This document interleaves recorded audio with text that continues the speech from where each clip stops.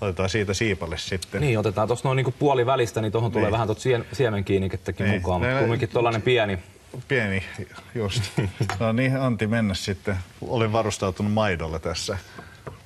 Niin, teillä, teillähän on chilin, chilin syöntikilpailut siellä Tampereella Joo, on festivaalilla.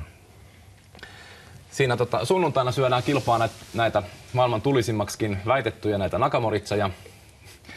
Ja, ja sitten lauantaina meillä on sellainen chili mix mikä on sitten vähän viihdyttävämpi, koska siinä sitten syödään tällaisia sekalaisia chilejä, jossa ajatuksena on se, että tunnistamalla chililajike voidaan sitten saada kilpailuetua valkkaamalla niitä mielompia. Sitten tämä poltihan nousee pikkuhiljaa tässä vielä minuuttien kuluessa.